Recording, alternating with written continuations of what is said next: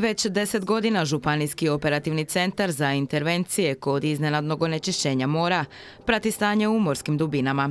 More u našoj županiji skriva 30 olupina. Opasnost prijeti od njih 11.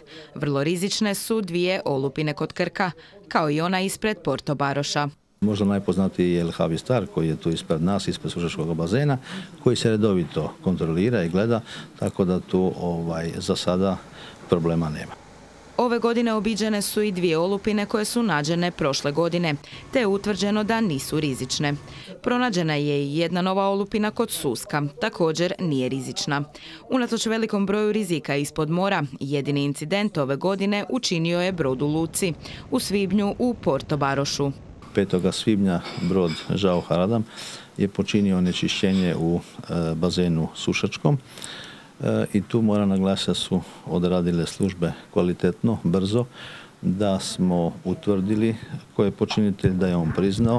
Onečišćenje su brzo sanirali brodovi dezinsekcije uz intervenciju svih ostalih službi. Bio je to dobar pokazatelj da su županijske službe spremne na iznenadna onečišćenja mora.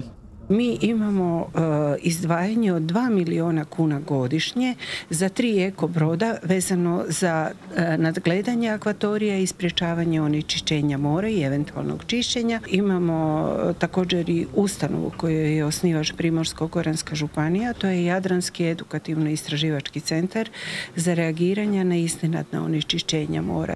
Jedini u Hrvatskoj imamo i avioizviđanje od 15. lipnja do 30. rujna, koje osim za monitoring mora služi i za nadzor požara. Avioizviđanje pokazalo se kao dobra praksa s kojom će se nastaviti i dalje.